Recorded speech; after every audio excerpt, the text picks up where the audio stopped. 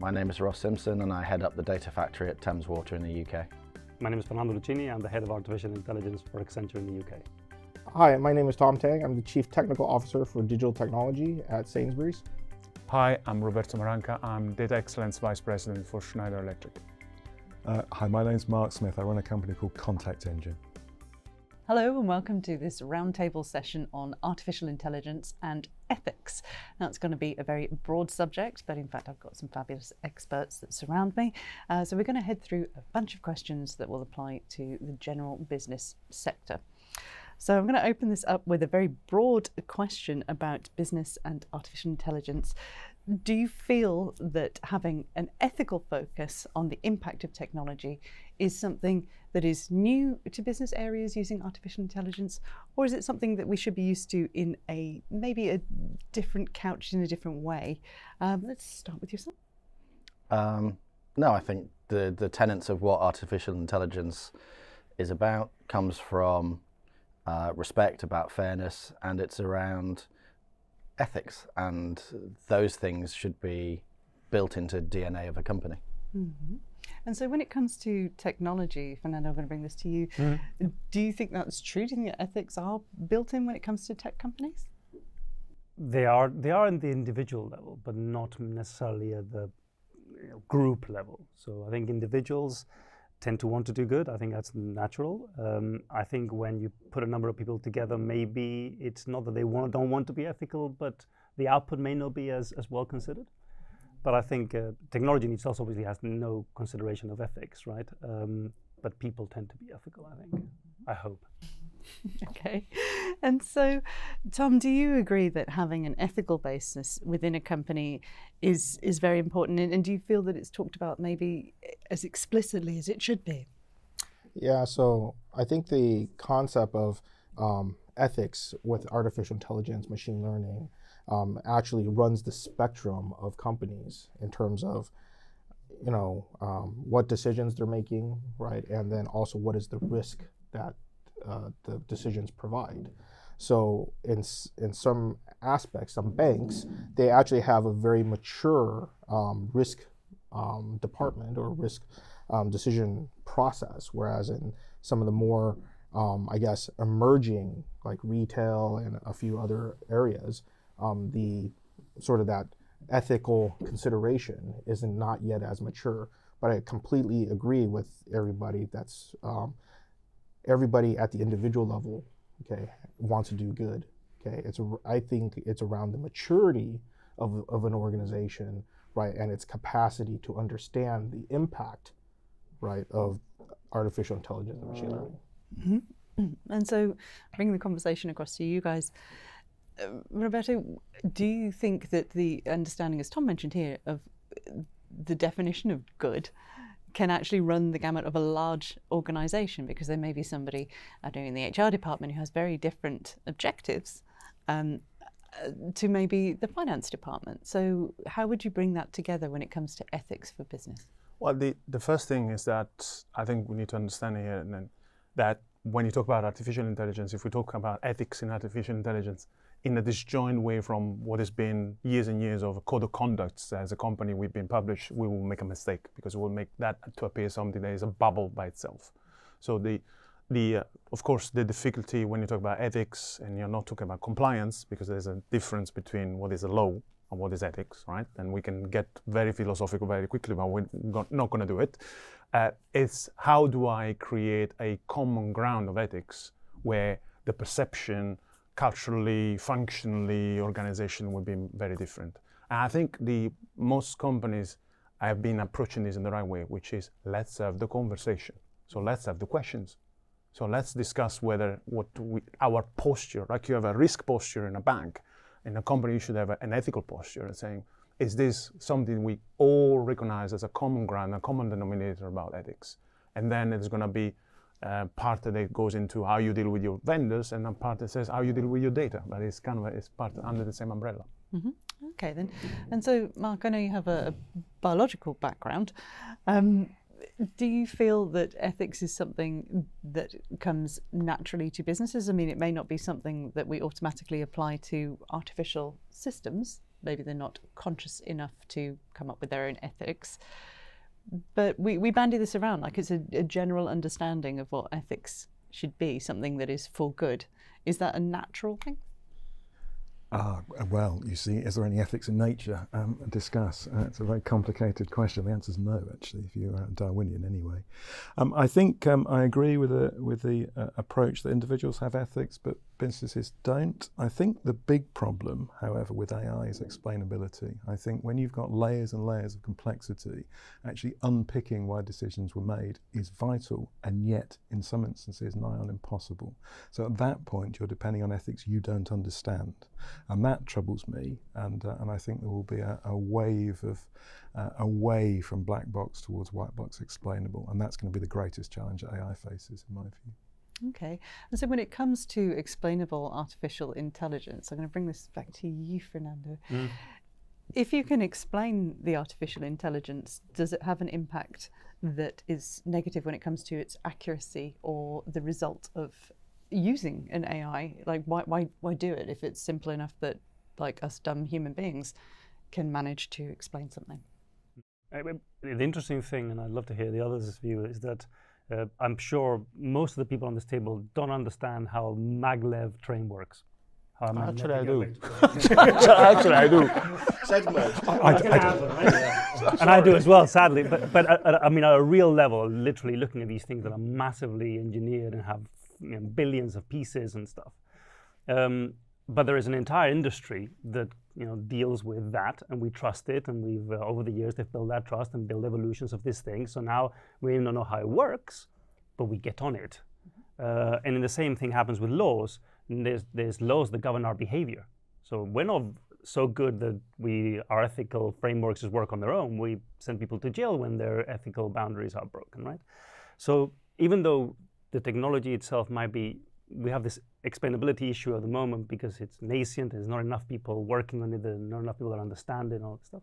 Over time, that will go away. As it relates to performance, I'm, i struggle to find examples where, where and a, a, good example of this is voice. None of us complains of using speech-to-text systems, which are mostly unexplainable because they're obvious. Uh, in banking, there's a lot of examples that are difficult to explain, but I don't think the performance is hindered by putting things in place that help it be explained at the moment. So you've got that balance of do you really have examples that are so necessary that they get to be so complex that explaining it is going to break the good that it brings? I haven't seen them. You might have some in you know, university and research and all these kind of things. But today, our thrust should be to have enough people in society that understand it at a sufficient level. The maglev example, that you that you trust it without necessarily understanding the principles of uh, of how magnets work or, or superconductors or anything like that.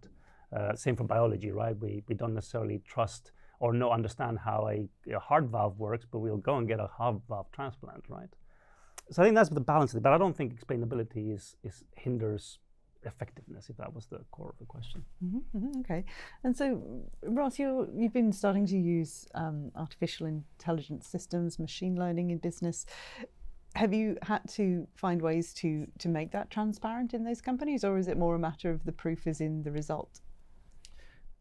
so I've got a similar opinion to Tom, which is I think AI is based on maths and stat- statistics, mm. and actually within Thames Water, we're very much using it for machine learning and robotic process automation, rather, and then also starting to move to the data science and the algorithmic end. Um, I think the, the the thing about it is it needs to be fair. I think you have to have standards and ultimately the individuals, and I take the panel's view that says everybody is an individual, wants to do the right thing, but ultimately they have to know where the boundary is. And this is for ahead of this panel, I was looking at the EU Commission on what they're looking at and their standards that they are leading the US at the moment across Europe with a specialist panel to try and look at um, specifically trustworthy AI. And the three tenets that that's based on is, is the respect for the human um, autonomy around fairness and around accountability. And then there are seven tests against that mm. and how you use that. It's the same thing, and, and Roberto and I have worked a lot around GDPR and governance. Mm. I think there has to be a governing body to know what the rules are, to know when you're breaking them. Mm-hmm. And it's about outcomes And ultimately, it's about being fair to consumers that if there is something that is, there is a decision made by a computer which negatively impacts them, that they have the right to challenge, mm-hmm. would be my view. Mm-hmm. Okay. And so, why are we so bothered by artificial intelligence when there are other technologies that we don't understand, that we don't seem to be as freaked out about in society? Do you, do you have a view on that? Yeah, I, I do. I think um, other technologies are we're less bothered by because well, it doesn't impact us on a daily basis, right? When you look at your phone, the amount of technology that's built into your phone that's using artificial intelligence, using machine learning, right? It's just uh, scalefold, right? So it touches us every day, and our discomfort comes from the fact that we know that there are companies out there that intentionally, I would say unintentionally actually, right, have released products that have negatively affected us as a population, right, as, you know, um, people. Okay, so um, there is that kind of wariness now because there have been have been these occurrences. But should we be more or less uh, wary? No, is my view. But we should be more conscious about you know how machine learning is used and and how it applies to us on a daily basis, right? So um, the, when you look at you know the future of machine learning, okay, I think people's discomfort really isn't around the data per se because it's around that algorithm, okay, and the algorithm changes every second of every day, okay. We need a we as users of that machine learning, right? We need to be comfortable, right, in that trustworthy AI.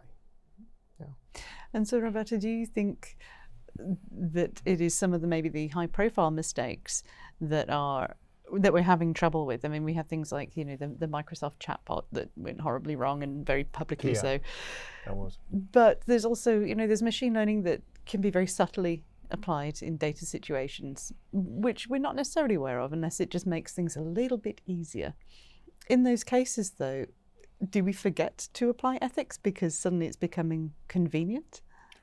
Well, it's an interesting point because um, I think the, the bubbles we're dealing with usually is what is feasible, and within that, what is ethical, and within that, well, within that, what is legal within that what is ethical and then at a certain point you get to what is good good for my customer. And then what is good for my customer doesn't necessarily all the time coincide with is ethical. So that that's in itself i think is an ethical point.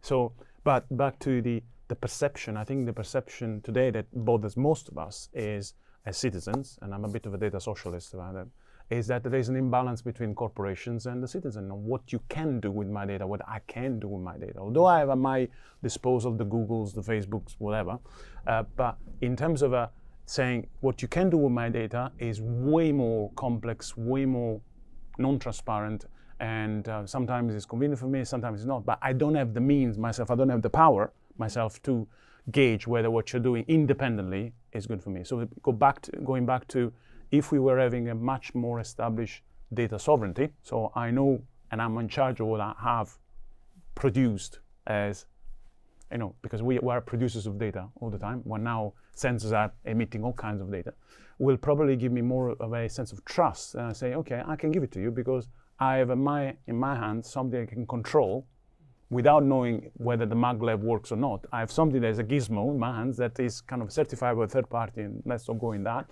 that says, oh, what you're doing with my data is actually fine. So I'm okay that the outcome I'm getting is based on stuff that I can trust you with.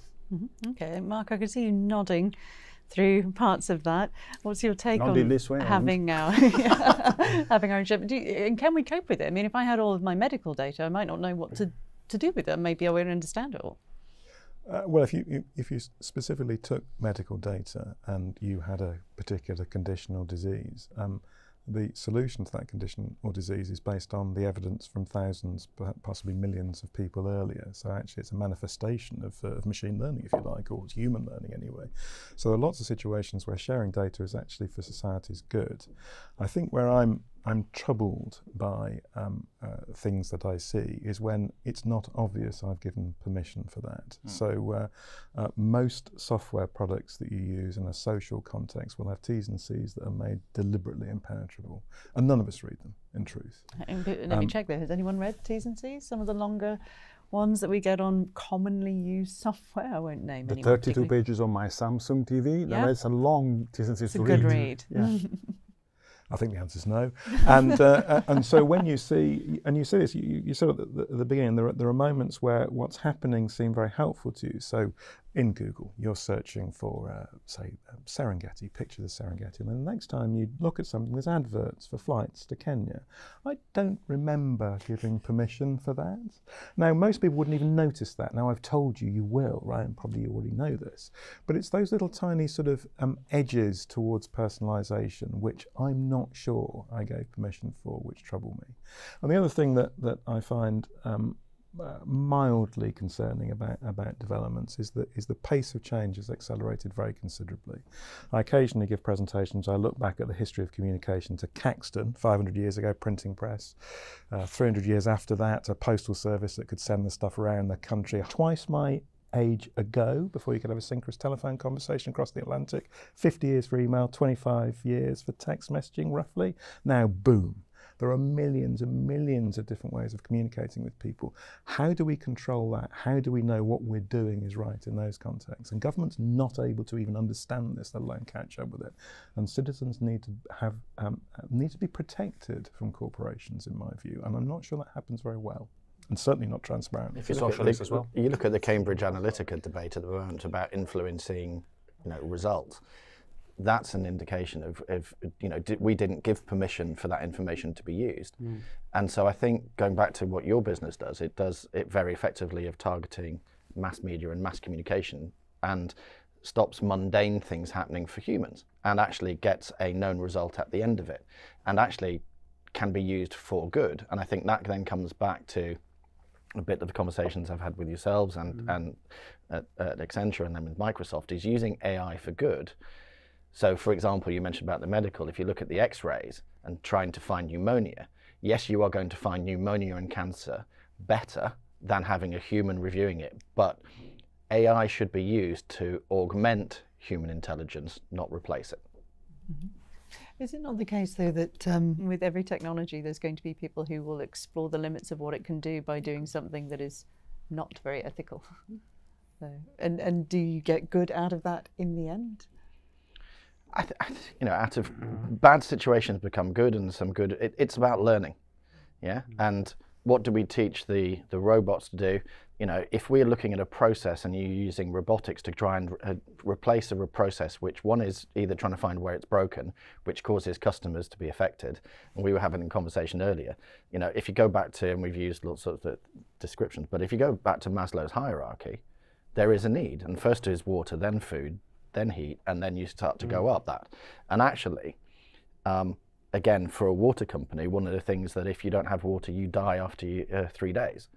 So that's pretty fundamental. So we've got a a position whereby we care for and look after humans and 10 to 15 million of them, and and whether we use AI or whether we use a pumping station and whether we do stuff. We, you know, if, if I look at the number of alerts we get uh, in South London alone, it's 2.8 million alerts per day. We cannot have enough people to look at those alerts and identify which are the ones that are important. So we have to start to employ technology to enable us to augment decision making on which is the right decision and what's the wrong decision. And as long as we get coming back to the maths and the stats right, and somebody checks that those algorithms are effective, which goes back to proper testing and having feedback loops, then I'm comfortable with it. Okay. So, Fernando, I can hear you agreeing with some parts of that. We don't always agree. We don't agree. being very well behaved. Um, but do, do you feel that those checks and balances uh, are available to us now while we're entering into areas of using things like machine learning um, and developing artificial intelligence for different businesses? Is it possible to have those people there to catch that, or are we just not trained? Are there not enough people? Well, this is this is where I was humming and not always agreeing. uh, No change. yeah, no change. In, interestingly, this this is the era of the dangerous amateur. It is literally the era of the dangerous amateur. In the same way that you wouldn't uh, employ an architect who hasn't got an architecture degree and actually has gone through the rigor of building a house and making it structurally available, we're more than happy to hire people to build machine learning who, frankly, don't pass that test by any stretch of the imagination. So, so to some degree, we've got this the, the issue of how are we going to, and it goes back to education and literacy. Um, if we were all a lot more literate about machine, we have debated before about machine learning versus AI. Let's not start it now, but but if we were all a lot more literate about machine learning, much of this would go away. Not not your not your quandaries with ownership of data. That's a that's an important societal problem. But much of this would go away as we wouldn't be making up what we think is an impact to us when reality technology cannot get there, kind of thing.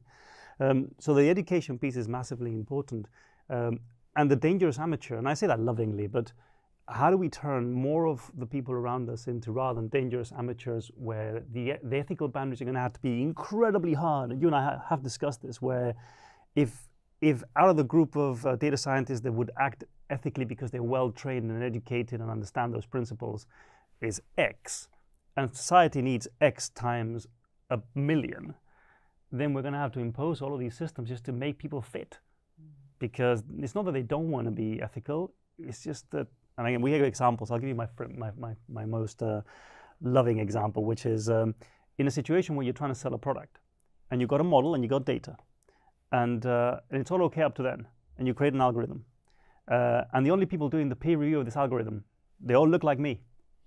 They're all bald Western men in their forties, handsome and and well educated. Um, should we be surprised? even though there's plenty of good ethics there and plenty of goodwill, that what comes out of it may not be appropriate for everyone. And it's a you know, it's an ethical question, but again, with an, we're going to have to impose an ethical system because there's just not enough variety and density for this to self-regulate itself. And even then, do we self-regulate architects and engineers and doctors? We don't. So why should we treat this any differently? Mm-hmm. So why aren't we learning then from other sectors, or, or do we need to then sort of reverse engineer how we work with, as you say, mm. doctors and architects? Is that something that you feel would benefit that we learn from AI?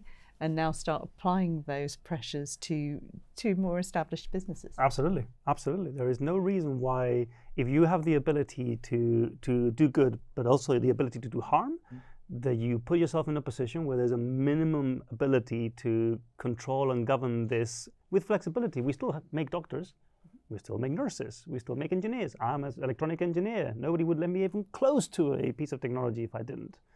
So yes, society needs to evolve to do this. And the, another problem that Tom and I have discussed a lot is there's no one ML. There's not one AI. No there's, I mean, I, even Accenture, in my, even in my team, I have very people who are very specialist in certain types of modeling, certain type of mathematics, certain types of data. So it's a, but in the same way, doctors have immense amount of fields, and so there's going to be a professional. I call it the professionalization of machine learning. There is going to be in the next five years a real push. that has to be for the professionalization, and it's going to come two ways. From businesses, I have a customer who has 8,000 data scientists. I've never seen such a thing it's the Wild West. They need to professionalize that or they'll bust. And then from universities and so on, who are going to start seeing with more of their courses, more of their density happening, a need to, and the ethics comes a lot from those institutions, to start adding some of that professionalization levels. So I think that's where but it's isn't that, come. Isn't that to do with the how new it is? Because if you look at lawyers and doctors, they have standards and then they're disbarred and stopped from practicing. Quite. When have you ever had a data scientist who's disbarred from practicing? All they do is they move companies. No, but some should. I, I, I, it's one thing, but also quite. there are there are countries who've got people employed to try and break into and break companies and try and take stuff. Right. You know, so there is good and bad in the world. I think we just need to recognize that. But the thing is, what we don't have, I believe, yet is what are the common standards that says here's the boundary and where are we on the right side or the wrong side of it and so it's mm. therefore up to individual companies right. and sometimes companies are there to uh, you know they have commercial pressures to make money because otherwise if they don't get return on equity then they'd go bust So where do the people who are above those, mm-hmm. who are on the boards, do they, unless they're a company like yours, which is about AI as your product, it's you know it's it's a niche area that you have very specialist, and you hope and trust that those individuals are responsible and accountable. Thus, we're going to move to, to we're going to move necessarily to professionalization. It has to happen. It's happened think so. before. It'll happen again. I, I, I really like this thread of discussion, but I think there is a concept out there that um, that is on the table right in society right now, which is the concept of a citizen data scientist, right? And when we talk about lawyers, we talk about doctors and their certifications. It's the lawyers and the doctors that are acting right on the operation itself that actually invoke the efficacy, right? The ethics of what they're doing. Mm-hmm. In a machine learning, artificial intelligence world, right? I'm building something that takes the action, right? Mm-hmm. So should it be that the controversial maybe, right? Should it be that the professionalization, mm-hmm. right, is not necessarily with the individual, but there's a professional association that says, okay, you must pass this set of tests, right, in order to in, in order for your a model, right, to invoke certain actions, and the actions that you will invoke will determine the tests that you have to pass, right? Because it's not necessarily the individual, right, that's performing the action anymore.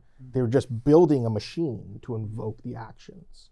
I think we're saying the same thing in slightly different ways. At different layers of society, we're going to need these things in the same way that you're going uh, robots to make they do operations, right? The the surgeries. They are this. If you've ever been involved in anything to do how that ends up in an operating theater, I promise you, all that is totally professionalized. There's no chance it gets there, and that's on one extreme of automation that we may want to protect deeply. But there's no reason why not exactly. You, you, by the time you end up in a, as, as your first job, you've come out of university, you already have a set of foundations and boundaries of how this gets done, and it's priming on how to do things well and what a good looks like, and it, it will vary from country to country.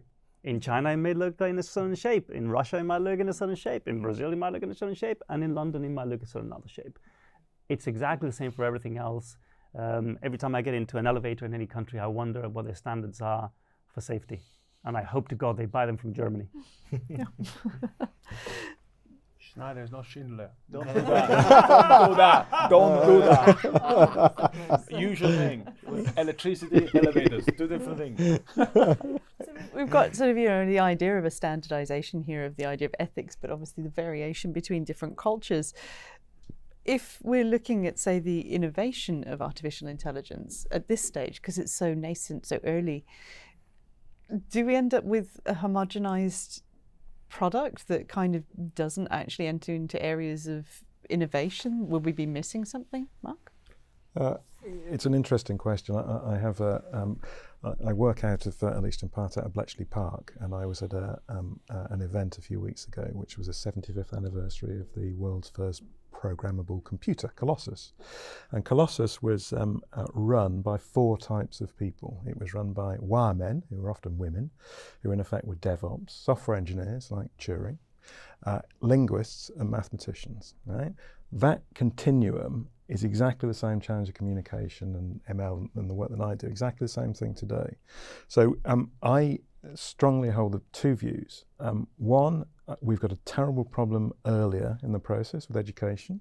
It is a scandal in my country only 10% of uh, engineers are uh, women. It's just scandalous. That's one thing. So we need to improve that and we need more cognitive diversity in the way that we develop AI as well. This isn't the preserve of software engineers or mathematicians or psychologists or linguists or whatever other discipline, biologists, whatever other discipline you want to throw in there. It, it's the preserve of all of those disciplines and that cognitive diversity will help to spread these ideas and learnings from other disciplines as well and bring that together so you create something that's for societal good, not one's group of people's perception of societal good.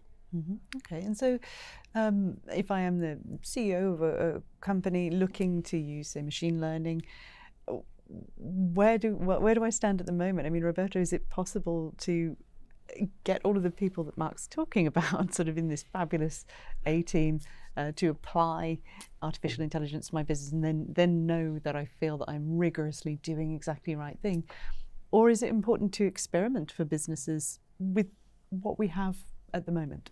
I think there are there is this misconception that experimentation should then necessarily give you a finite product that you can throw in operations immediately. I think there's a conveyor belt between it's good to experiment, but then moving from the test bed, whether you're agile, whatever you want to call it, the activity you're doing with um, people are throwing whatever data sets and trying to play with things, there's a moment in which that this there's stage gates to get you from what you experimented through what it can be actually productized. And those stage gates are the ones in which you start to reduce the degree of freedom and say, oh, you've done all this stuff. Now, have you tested for bias? Have you tested for regulation? Have you tested for privacy? Have you tested? So there, there is a flow.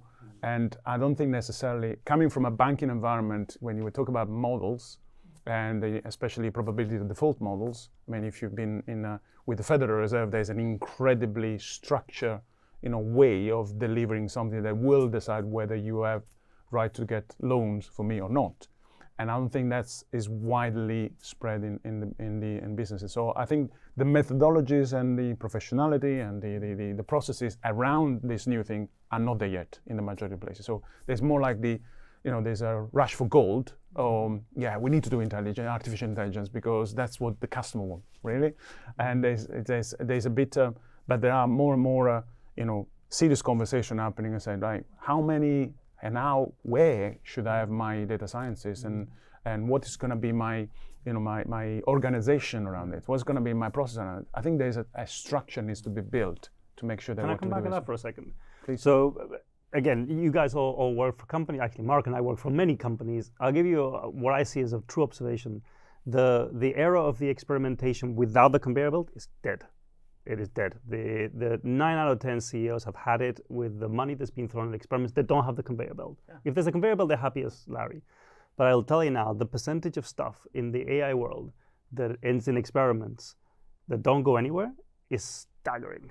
I mean, staggering. It but you know, but you know that. Sorry, the conveyor belt is wonderful. We're, we're blowing a bit of um, our trumpet here because the difference between a good experiment that gets to opera- operationalization correctly and a bad one is most of the time how good is the data out there mm. because what you usually you create is a shiny algorithm here that works perfectly in uh, incredibly sanitized conditions and then when you free it in the operations, the data out there is not good enough for this thing to survive. Yeah. And that's what has been killing a lot of the, our digital my, transformation. My experiences, which is interesting, and this is where we see it as more free flowing, is that there's actually an entire category, a very large category of the data is okay, the algorithm is great, the company just doesn't even know how to put this into a place where it's going to be live. They don't even know how to get it done. Banks are a prime example of here's this wonderful model that's going to score and give me a grade. No, I don't even know how to put it into production. It's mechanically impossible because they haven't got the foundations for it, because they haven't got the systems for it, because they haven't got the way to operate it, blah, blah, blah, blah. So, to maintain it. Secure it. And then, so I think there's several layers. You've pointed out one of my favorite scenarios, which is one where it, it's all playing out, and, and, the company is being has had the the foresight to think, I don't need to put into production a million different things four or five things that are, that are valuable are enough. And I'll put more as they come, and the conveyor belt moves. It's almost, and I, I hate to say this, we need to, this is a whole layer of technology to do more with less. The whole principle of it. I've been doing it for 25 years, more with less. It's not possible that we're, in some cases, doing less with more. I mean, it's almost staggering. And this comes, this comes back to the thing that the last time we met, that I got from your conversation about AI, and it's the 10x and the plus 10. Mm. The critical thing is is to is to learn fast and know when to stop, but uh, importantly to pick the things that are going to give you a 10 times return mm. versus a plus 10% return, and knowing the difference for that, but still having the ethics and the guidelines and the governance and the principles comes down to mm. sometimes you've got to make a gut feel bet. Quite. And it Quite. still comes down to human behavior to turn around and say, do I have enough knowledge and experience mm. and skills to be able to make to call the right decision? And we should explain the 10 times. Sorry, it's it's yeah. it's my principle that you shouldn't do anything that doesn't have a 10 time multiplier. If it has a 10% gain, don't do it. It's a just a, I mean, we're all in AI, so it's interesting. Tom and I have discussed it many times. Um, it's not a perfect rule, but it's a good rule to stop when you're just learning. And I'm sorry, the age of learning is also kind of in companies is kind of starting to go away. It's the age of the age of results. Less results, maybe, Is that one of the main problems then? I mean, it's interesting, um, you've touched on it here as well, that um, you, you said that customers like to know we're working with AI. Is it the customers or is it investors? Like, who are companies answering to when they're saying, "Oh, we're definitely doing some AI," and, and maybe hmm. too much of it, and maybe it's a mess, and That maybe it's an depends if you're private equity backed. Mm. or trying to find money in California. yeah. But do you? I don't know. Do you, uh, f- around the table, generally jump in? Do you feel that there are outside business pressures that just cloud these decisions, and we've just got another buzzword? It's like saying hmm. blockchain. I'm sorry. Yeah, the CEO saying this year we're going to do big data, hmm. and everybody looking at each other. So I'll give you. Can I give you a bit of data, hard data? Um, in the analysis that we did, It's for- good quality, yeah. it's good quality. Good quality. uh, we did about the, an interview with about 50 or 60 chief execs and people in AI in banks and, and law firms and stuff for the City UK, which is the, the body that they all belong to. And what we found is just super interesting, which is that um, if the, the to the CEO saying we're going to do AI, we found that the people that do really well and actually get outcomes from the CEO saying that tend to be firms where the distance between the CEO and the people that make the decision is small. Law firms, because the CEO is a partner and he has partnership in his business. He's understood what this is and he's transferring it well. Where we saw no great deal of outcomes, the distance was very large. In, and I say distance in communication, passing on the strategy, understanding of what it means, right?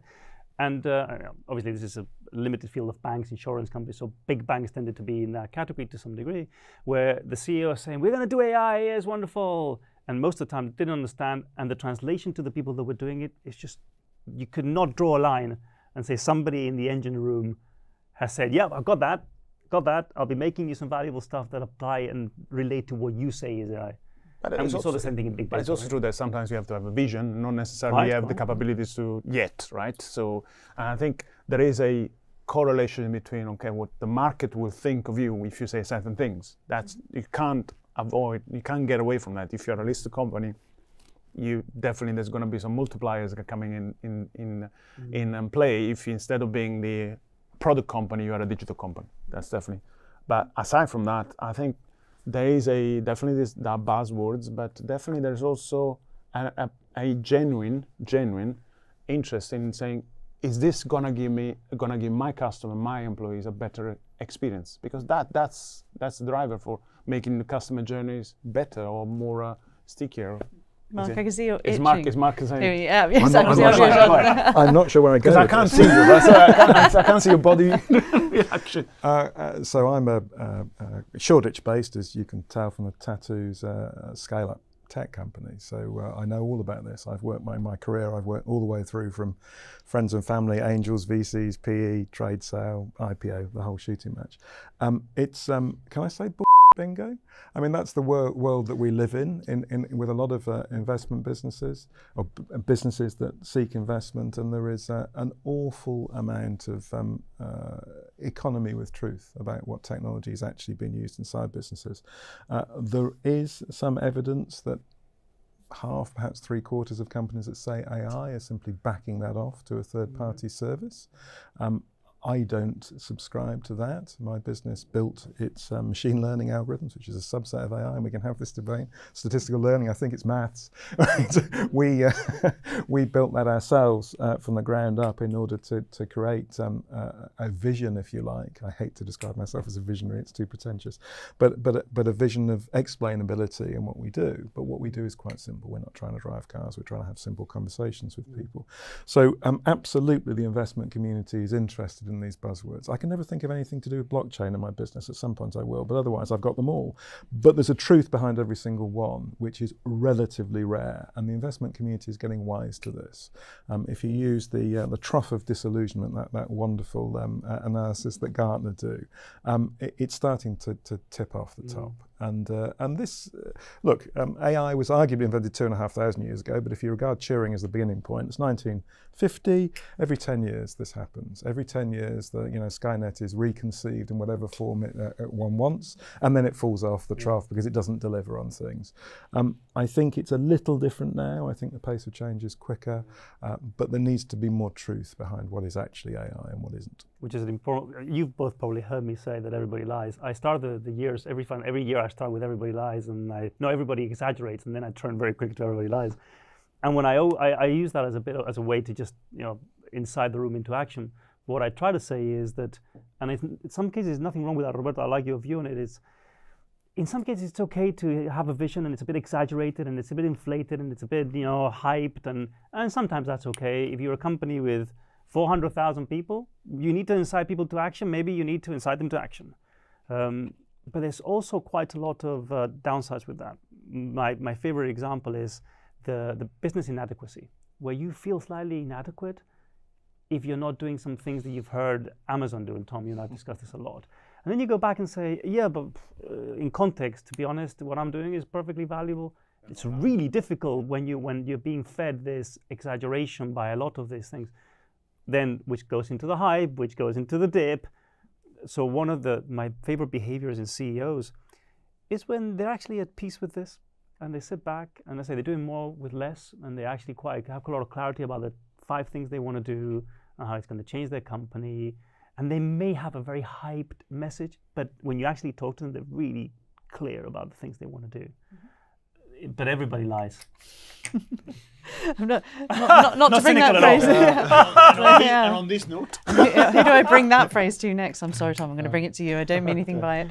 But uh, how do you bring a, a message then of, of considered technology, uh, whether it's artificial intelligence? I mean, certainly artificial intelligence in this case, without sort of f- fear words, without the Skynet, but on the other side of it, without just saying, well, you're just going to have to do it without questioning it organizations are quite vast. Buy-in sometimes has to be at multi-levels. Do you do you feel that that it's portrayed as an opportunity or that it's clearly explained within businesses and, and larger organizations? I think when you talk about uh, bringing machine learning and artificial intelligence to uh, an organization, um, most companies, right? I'm not talking about the tech companies, startups, things like that you can talk about it in, in, in the delivery of the business benefit, the colleague benefit, right?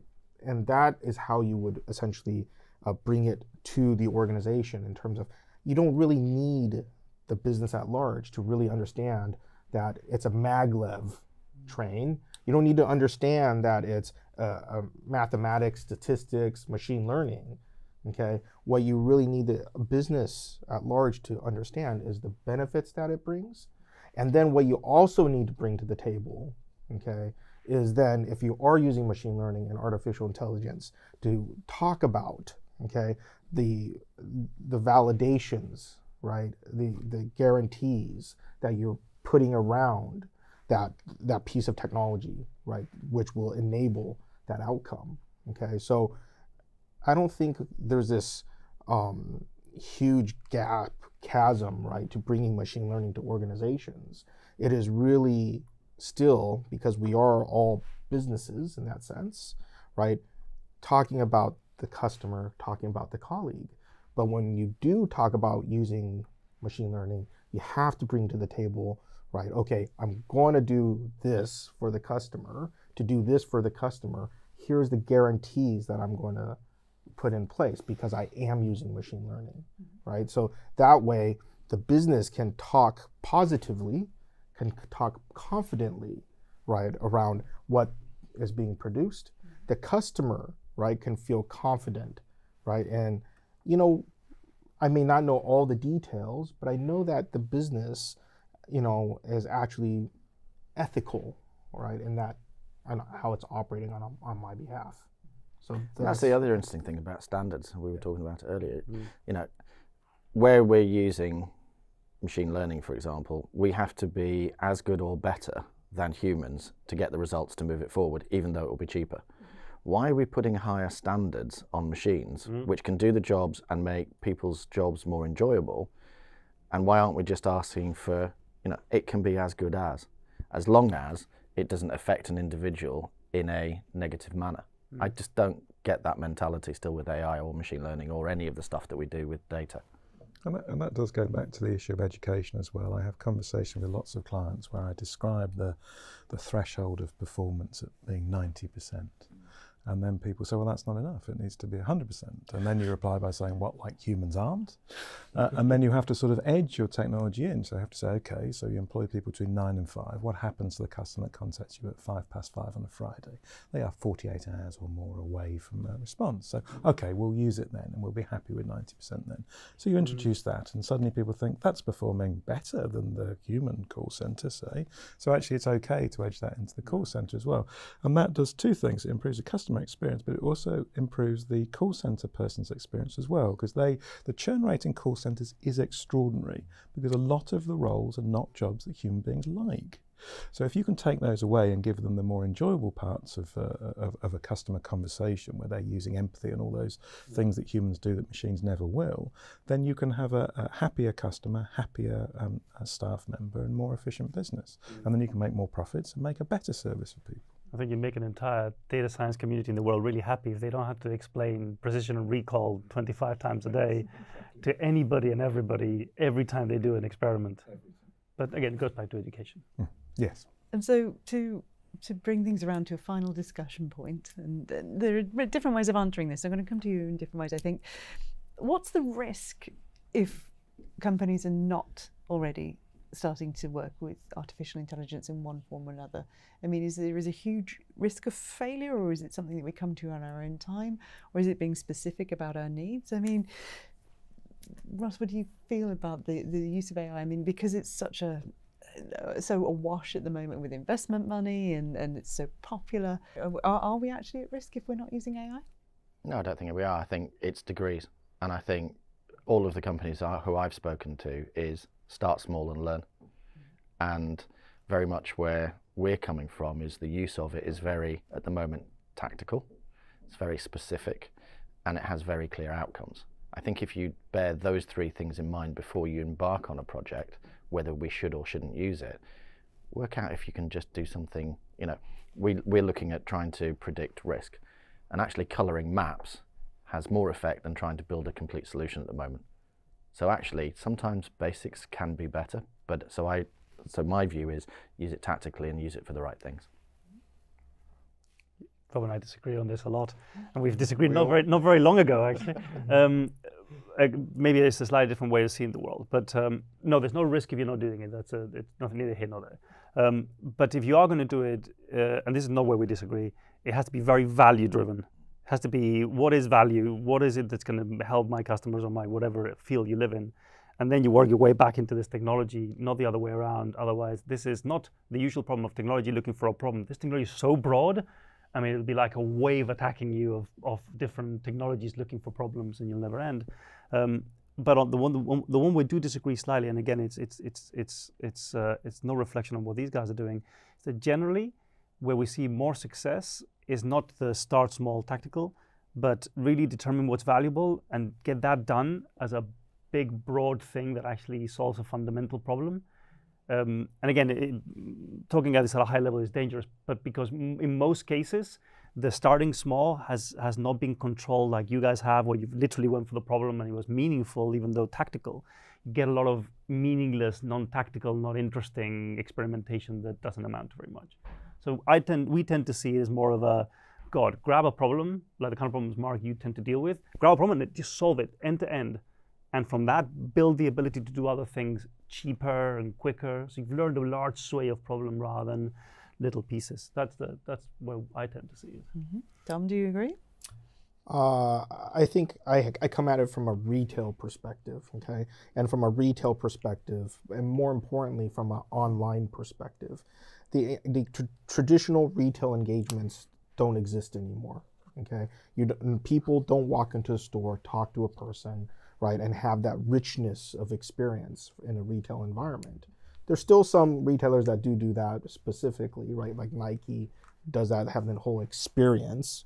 But if you don't have that richness of experience, you have to have to you have to generate a proxy for it. So online in retail most, if not all, retailers try to create a richness of engagement, a detail of engagement. And how did that come about? That comes around. That comes about through forms of personalization, right? So, in my view, okay, as a retailer, if you're not engaged, right, in some journey to having more richer engagement, more richer experiences, which more generally takes guys in artificial intelligence, machine learning, okay, you are at risk. Yeah. Okay. Yeah, all right, we'll move it along a little more then. So, Roberto, does it look risky if you're not already playing with AI? No, I don't think so. The risk you're running is really that if you're doing this just because I want I want one of those, right? Mm-hmm. Which is happening in your data journey, in your digital journey, any any business transformation that you do just for the sake of it, it's probably you're risking. So, but back to, I mean, I agree with a few views in there, but and bottom line for me is that if you commit to that, you can't just think about that as an isolated moment in your company. It has to be properly. It's like a new organ that you need to feel in the body. So you need to understand the function it's going to play, and then you need to connect with everything else that's happening in the company. So having just experimentation doesn't work. Having having creating the full shebang from the beginning probably is going to be overwhelming. So having an understanding of the journey and asking yourself the right question, why are we doing this? Because if we're doing this because all the others are doing it, then you're risking it. Okay, so we seem to be reaching a sort of a consensus. Mark, are you joining us on that? Uh, I, I, think I have a slightly differing view, I think. Um, if you take certain services that you buy, broadband, your mobile phone connectivity, a bank loan, mortgages, it's quite a few actually, um, they're all almost identical, the services you get. Your phone just works, your broadband just works. So what's the difference? Well, the thing that people look for is price, right? So that's the first one, I think. After that is service. Now, if you are in a business where your margins are eaten away because of competition, which is the case, water's too cheap, Ross. It's far too. I would pay ten times more for my water. You can quote me on that. Call your guys. It's, ma- it's madness, right? But if your margins are very low and you want to maintain that that connection with your customer, you have no choice but to automate it. That's it. You have no choice. That is the future. That is happening, and that is the way it will be. You cannot have enough people, so you have to use machines. Perfect. All right, that's a good area to round things off on. But thank you all very much for this uh, premium human experience. That's that, Tom. Um, yeah, it's, a, it's, something that we've all been able to indulge in, which may become a luxury in the future if automation's headed that way. It's twice about it. Thank you.